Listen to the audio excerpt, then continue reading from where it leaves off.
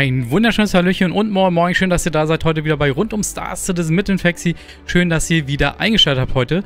Ich habe wieder ein Schiff mitgebracht, sogar zwei Schiffe, wenn man das so sagen kann, im Doppelpack. Das ist einmal die Ares-Serie, das ist einmal die ganz normale Inferno, die so ein bisschen brrr-mäßig drauf ist. Dann haben wir die Ion, die so ein bisschen piu, piu drauf ist, was, wir, was das genau auf sich hat, das werden wir uns gleich angucken. Äh, der eine oder andere kennt ja schon, sag ich mal, die Ares. Ich glaube, das ist eine ganz witzige, das ist auf jeden Fall, glaube ich, schon mal ein sehr guter Vergleich, dass wir uns gleich auf jeden Fall angucken, was sich das auf sich hat. Aber wie gesagt, die Ares ist von Crusader Industry, ist ein Heavy Fighter, was die UE damals angefordert hat von Crusader und was tatsächlich auch in den Rennen reingegangen ist und auch gewonnen hatte damals und als Favorit rausgegangen ist. Die Ares-Serie werden wir uns jetzt nochmal angucken. Was ist das für ein Schiff? Was kann man damit machen? Und was ist das Besondere an der Ares-Serie? Weil das hat nämlich wirklich eine ganz, ganz große Besonderheit und das werden wir uns gleich alles entspannt angucken. Ach, was schnage ich hier weiter? Let's go, lass uns loslegen. Gehen wir rein. Let's go, ihr Lieben. Hier kommt die Ares. In conjunction with Bering, we are currently crafting the most devastating Size 7 mountable ship cannon ever devised. The SF-7, being prototyped in both ballistic and laser configurations, is specifically designed to incapacitate capital-class vessels.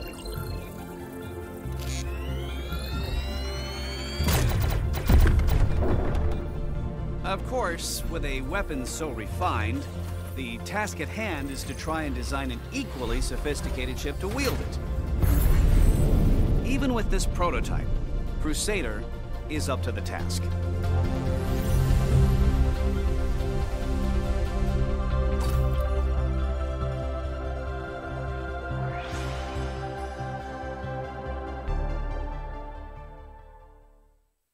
Go, gehen wir rein in den Talk und Abfahrt. Gucken uns die Ares an. Was geht da ab? Hier sind wir auch schon direkt bei der Inferno. Wie gesagt, die Inferno und die Ion, die sind ein bisschen anders aufgebaut. Was ist der große Unterschied, kann ich einmal ganz kurz erzählen. Die Inferno, die ist so aufgebaut, dass sie eine Brit-Waffe dran hat. Das ist so gesehen eine Gatling, die sie dran hat mit 1900 Schuss in der Minute, was wirklich schon eine relativ schnelle Schussfrequenz ist. Die sind beides Heavy Fighter. Die Komponenten sind auch anders aufgeteilt. Das gucken wir uns aber gleich noch alles ein bisschen im Detail an. Wie gesagt, sie ist 27 Meter lang, hat eine Höhe von 5,5 Meter und eine Breite von 30 Meter und zwar, das ist quasi so ein kleiner Broker für die Trägerschiffe. Sie passt leider nicht wirklich in eine Idris rein, sie passt auch nicht in eine Polaris rein. Wenn ihr eine, äh, sag ich mal, eine Ares gerne mitnehmen möchtet auf dem Trägerschiff, da braucht ihr wirklich eine Kraken oder zum Beispiel eine Jefflin, da passt sie auch noch rein. Wegen den 30 Metern ist es wirklich schwierig, sie in die Idris reinzukriegen bequem oder zum Beispiel auf die Kraken mitzunehmen. Wird das, das wird funktionieren, aber Idris nein, leider nicht und Polaris leider nein, auch nicht. Kraken ja. Und wie gesagt, Bengal Carry natürlich eh. Und was natürlich auch funktioniert, soll wohl die Javelin sein, weil die Javelin ja zwar nur einen Hanger oben, wo auch zum Beispiel die Vanguard Warden meistens drin hat oder die Hoplite, da passt auch sehr gut die Ares rein. Wie gesagt, wir haben hier wirklich einen Heavy Fighter von Crusader Industry, ein sehr, sehr schönes Schiff, wie ich finde, hat eine ganz, ganz große Besonderheit, das möchte ich einmal kurz mit euch erläutern, das ist nämlich die Waffe. Die Waffe ist nämlich fest verbaut und die kann man auch nicht umbauen. Das heißt, da kommen wir aber gleich zu. Lass uns erstmal weiter reingehen in die Broschüre, was wir hier so sehen. Wie gesagt, die ähm, Ares wurde extra designt, um größere Schiffe aufzuhalten, eine Blockade darzustellen oder eben auch den vernichtenden Schlag durchzuführen. Eine Ares wird natürlich jetzt nicht so viel Power haben, um eine Idris, sag ich mal, gefährlich zu werden, aber generell könnte es schon klappen, wenn du mit mehreren äh, Squads ankommst. Zum Beispiel, wenn ihr das Squad vielleicht mischt, ihr habt vielleicht eine Ares entferne und ihr habt vielleicht noch eine Ares Ion dabei. Das heißt, wenn ihr vielleicht 5, 6 von diesen Fighter dabei habt, vielleicht sogar noch eine Eclipse dabei, die nochmal Size 9 Tops dabei hat, davon drei Stück, dann kann das wirklich schon einer Idris gefährlich werden. Stellt euch das mal vor, ihr habt von mir auch zwei Eclipse dabei, dann habt ihr vielleicht noch zwei Infernos dabei und noch zwei Ions, dann ist eine Idris wahrscheinlich auch relativ schnell Geschichte. Weil was ist das Besondere an diesem Schiff, das möchte ich euch einmal ganz kurz erläutern an dieser Waffe. Das ist nämlich tatsächlich eine Size 7 Gun und die Size 7 Gun ist fest aufgebaut auf die Ares, das könnt ihr nicht umbauen, ihr könnt keine anderen Waffen ranbauen, aber ihr könnt natürlich die Komponenten austauschen. Das wird auf jeden Fall noch gehen, aber ihr seid wirklich auf die Waffe festgesetzt, die könnt ihr nicht ändern. Ihr könnt zum Beispiel auch nicht die Türme umbauen von der Perseus, weil die auch Size 7 Türme hat, das ist so ähnlich gedacht, da könnt ihr die Türme auch nicht umbauen und andere Bewaffnung rausschrauben, das geht auch nicht. Das heißt, hier wurde wirklich das Schiff äh, designt um die Waffe drumherum. Komponenten, da kommen wir gleich noch zu. Da gibt es nämlich auch einen großen Unterschied zwischen der Inferno und der auf jeden Fall auf der Ion. Da gehen wir aber gleich drauf ein. Wie gesagt, die, die Waffe ist fest installiert. Das könnt ihr nicht ändern. Das geht nicht. Hier sehen wir nochmal auf jeden Fall auch das Interieur. Sieht auf jeden Fall schon ganz schick aus wie Crusader. Die zu uns bringen möchte, denkt daran, ihr habt hier wirklich nur ein Cockpit, wie ihr das zum Beispiel auch kennt bei der F8 Lightning oder bei der F8 oder in der Saber. Das heißt, ihr habt wirklich nur ein Cockpit drin, nicht so wie bei der Vanguard Warden, wo ihr wirklich auch noch Interieur dahinter drin habt. Ihr habt ein Schlafbett, ihr könnt euch ausloggen, sowas gibt es hier nicht. Hier ist wirklich ein Heavy Fighter, wo ihr wirklich nur ein Cockpit habt und das war's. Und ich finde das Design schon von Crusader bei so einem Heavy Fighter sehr gelungen, sehr schlicht, sehr edel und trotzdem sehr schick. Also finde ich sehr cool das Design dass die, wenn ich hoffe, das kommt auch wirklich so nachher später ins Spiel. Das ist noch so ein bisschen prototyptechnisch, gefällt mir aber im Großen und Ganzen schon mal sehr gut. So, kommen wir zum nächsten Bild. Wie gesagt, was das Besondere ist bei der Inferno, wir haben hier eine Gatling drauf.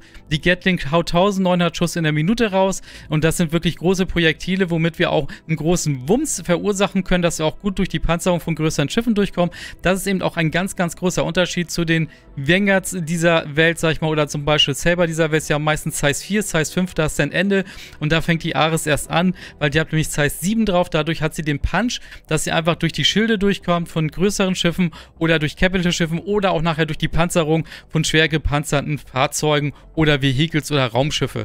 Also das ist hier kein Thema. Die hat den Wumms da durchzukommen. Das bedeutet nicht gleich, dass sie mehr DPS hat. Das wohl vermutlich nein. Wenn du jetzt zum Beispiel mit einer Vanguard Warden kommst oder mit anderen Schiffen, die gut ausgestattet sind, fährst du wahrscheinlich mehr DPS. Das bedeutet ähm, Damage pro Second. Aber den Wumms werden sie nicht haben, um nachher effektiv durch die Panzerung durchzukommen. Dafür brauchst du am besten nachher eine Ion. Eine Ion, wie gesagt, hat ja die Lasergun oben drauf, um gut durch die Schilde durchzuballern. Oder wie wir hier sehen, die Entfernung mit der Gatling oben drauf, dass sie dann gut die Panzerung nachher durchbrechen erreichen kann. Wie gesagt, hier sehen wir nochmal die Kanone. Bei der Kanone ist es ein bisschen anders. Hier haben wir 38 Schuss in der Minute. Das bedeutet, die, äh, die Schussgeschwindigkeit ist relativ gering. Das heißt, äh, ja, du kannst einfach nur 38 Schuss in die Minute raus. Und das heißt, am besten ist es, dass jeder Schuss auch trifft. Sonst, wenn da ein Schuss daneben geht, dann musst du wieder ein bisschen warten, bis du den nächsten Schuss raushauen kannst. Wie gesagt, es ist eine Kanone. Was ganz interessant ist, im Video damals von der Inferno, das werde ich am Ende nochmal abspielen, haben sie das auch so ein bisschen gezeigt, dass die Waffe sich auflädt und der mehrere, mehrere Schüsse Größe, ja, sag ich mal, abgibt, aber das wird so nicht sein. Denkt daran, das Video, das Promo-Video zu der Inferno kam erst später raus, also das haben sie schon vorher fertig produziert und das Konzept kam später raus und im Konzept haben sich das nochmal überlegt mit der Kanone. Das ist eine ganz normale Laserkanone, ist Strahlkanone, wie wir das auch kennen, zum Beispiel bei der M7A haben wir das ja auch. Du hast einen Schuss, musst einen Augenblick warten, kannst den nächsten Schuss abgeben. So ist es. Wie gesagt, ein paar Raketen haben wir hier auch noch bei den Schiffen dabei. Gehen wir mal rüber, hier sehen wir das nochmal mit der Kanone. Wie gesagt, die Kanone ist das Hauptteil von diesem Schiff und alles drumherum wurde herumgebaut. Das heißt, die Kanone könnt ihr auch, wie schon gesagt, nicht austauschen. Das ist das Besondere ja zum Beispiel bei der Inferno oder zum Beispiel bei der Ares, bei der Inferno, die wird nicht so schnell die Munition ausgehen, was aber auch immer ganz witzig ist. Viele denken, oh mein Gott, wenn ich jetzt einen 1900 Schuss in die Minute raushau, da werde ich ja nicht viel Munition da haben. Doch, da habt ihr schon einiges an Munition dabei. Weil nämlich hier ist überall Munition drin bei der Inferno und hier ist die Gatling drauf. Das heißt, hier habt ihr das Dreifache an Munition dabei, wie ihr zum Beispiel an der Vanguard Warden, wo ihr zum Beispiel die Apokalypse Arms unten an der Nase habt. Hier habt ihr wirklich das Dreifache an Munition dabei und kommt wirklich lange damit hin. Ihr müsst nicht so schnell nachmunitionieren, wie ihr vielleicht glauben mögt. Das steht zumindest im QA so drinne von der Entfernung. Was auch noch ganz interessant ist, bei der Ion haben sie es komplett anders gemacht. Deswegen hat der, die Ion hat einen Kühler mehr und hat einen Powerplan mehr und hat einen Schildgenerator mehr. Das kommt einfach daher, äh, weil hier das äh, drinne ist. Hier ist der Kühler drinne für die Laserkanone. Das die muss natürlich auch gekühlt werden und die Laserkanone braucht auch relativ viel Saft und Power. Deswegen hat die auch einen zusätzlichen Generator drin, einen Powerplan eingebaut. Deswegen ein Kühler mehr bei der Ion und ein Powerplant mehr für die Ion, dass überhaupt die Waffe richtig funktioniert. Dafür hat die Inferno dafür viel mehr Munition dabei. Deswegen kann man die Waffen auch nicht untereinander swappen. Würde keinen Sinn machen, wenn ich jetzt die Waffe bei der Inferno einbauen möchte, weil ich die höhere Panzerungsdichte ausnutzen möchte von der Legierung her. Dann habe ich aber nicht genug Power und nicht genug Kühlung, um die Waffe zu betreiben. Deswegen sind die Waffen fest eingebaut. Lass uns das nochmal in Daten angucken. Gucken wir uns das nochmal kurz in der Broschüre an dieses mit den Komponenten. Gehen wir nochmal in die Komponenten rein, damit ich euch das nochmal zeigen kann diesbezüglich. Ich werde einmal kurz ein bisschen reinscrollen, dass ihr das auch ein bisschen besser sehen könnt. Hier sehen wir zum Beispiel dass sie hier zwei Powerplan haben. Das ist jetzt bei der Ion, also wo wir auch die Kanone drin haben. Das heißt zwei Powerplan. Dann haben wir hier die Batterie, kann ich einmal ganz kurz antickern. Die Batterie ist wirklich sowas wie eine Schleichfahrt. Viele haben das vielleicht gar nicht mitbekommen. Es gibt in Star Citizen Raumschiffe, wo eine Batterie eingebaut ist. Dann könnt ihr den Powerplan ausmachen und könnt dann sowas wie eine Stealth-Schleichfahrt weiter fortführen über den Batteriebetrieb. Nur mal so als kleiner Tipp, als Hinweis. Haben sie zumindest im Q&A so beschrieben, ihr Lieben. Wie gesagt, da haben wir noch einen Kühler mehr und wir haben einen Schildgenerator mehr. Wir haben drei Schildgeneratoren, alles Medium.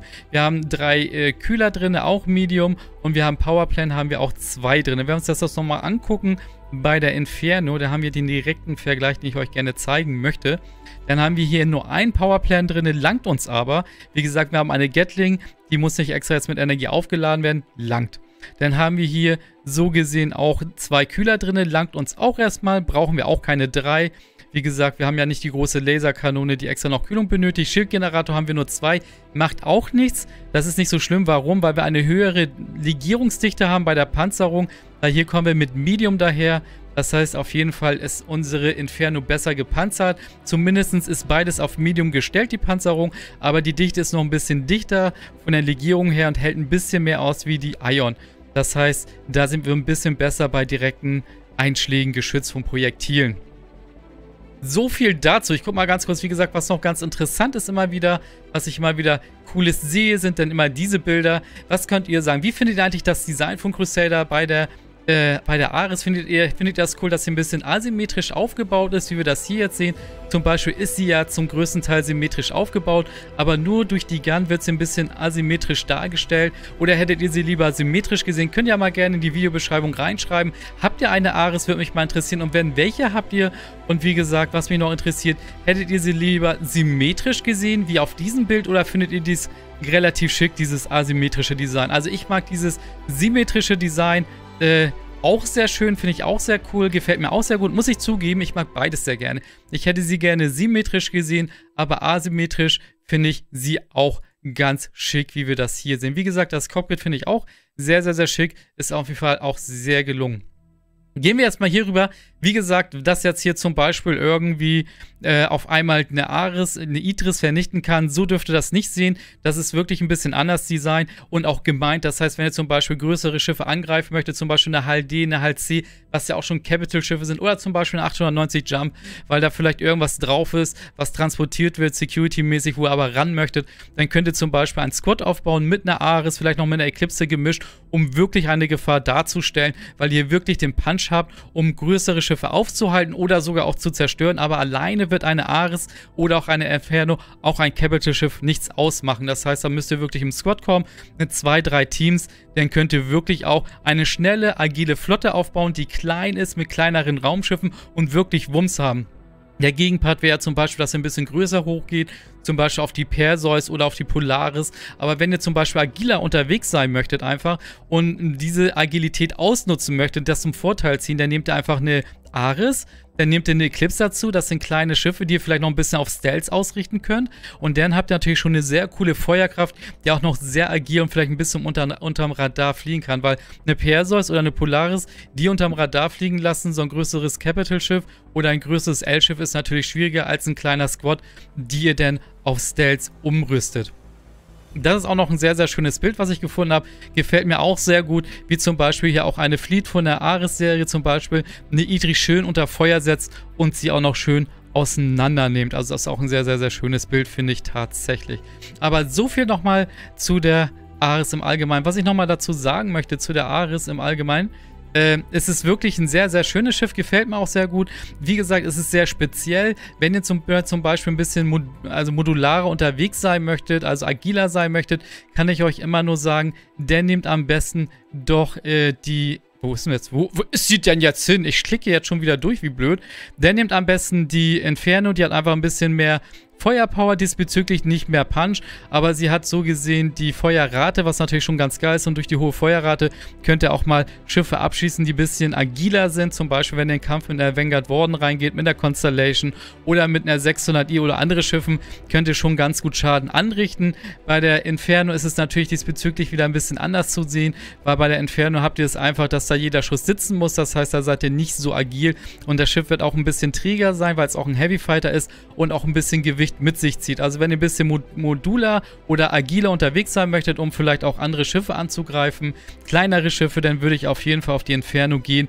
Damit werdet ihr auf jeden Fall mehr Spaß haben, wie ja zum Beispiel mit der Ion. Was auch noch ganz interessant ist, wenn ihr zum Beispiel jetzt Begleitschutz geben möchtet, zum Beispiel im Security-Bereich, dann könnt ihr natürlich auch sehr gerne die Ares nehmen. Die hat einen guten Spritvolumen. Das heißt, ihr könnt auch längere Strecken mitspringen. Ihr habt zwar kein Interieur dabei, wie bei der Vanguard Warden, aber trotzdem könnt ihr lange Strecken mitfliegen. Das heißt, wenn ihr mit einer Halt C, Halt D unterwegs seid, ihr braucht vielleicht ein bisschen Security-Schutz, nehmt gerne eine Entfernung mit. Das ist vielleicht gar nicht mal so schlecht, die euch wirklich den Rücken frei hält. Und ihr müsst nicht so oft Rest-Stop machen, weil sie auch gut lange Strecken mitspringen kann diesbezüglich. So, ihr Lieben, dann würde ich mal so sagen, dass so viel zu der Inferno Aris und zu der Aris Ion. Ich hoffe, es ist, hat euch gefallen, das Video. Wenn euch das Video gefallen hat, gerne einen Daumen oben da lassen. Würde ich mich auf jeden Fall sehr, sehr, sehr freuen darüber. Und wenn ihr noch nicht gehabt, dann gerne meinen Kanal abonnieren. Würde ich mich auch sehr darüber freuen. Wie gesagt, ich bin auch fünfmal in der Woche für euch live auf Twitch. Guckt mal gerne vorbei. Heute Abend bin ich auch wieder live dabei. Würde mich sehr freuen, wenn ihr einschalten würdet. Meistens so ab 17 Uhr bin ich am Start unter Twitch TV Fax. Das werde ich aber auch alles in der Videobeschreibung unten verlinken. Jetzt wünsche ich euch aber erstmal einen wunderschönen Tag. Kommt gut rein und wir sehen uns dann vielleicht heute Abend. Und bis dann, ihr Lieben. Bye, bye. Tschüss, euer Faxi. Ciao.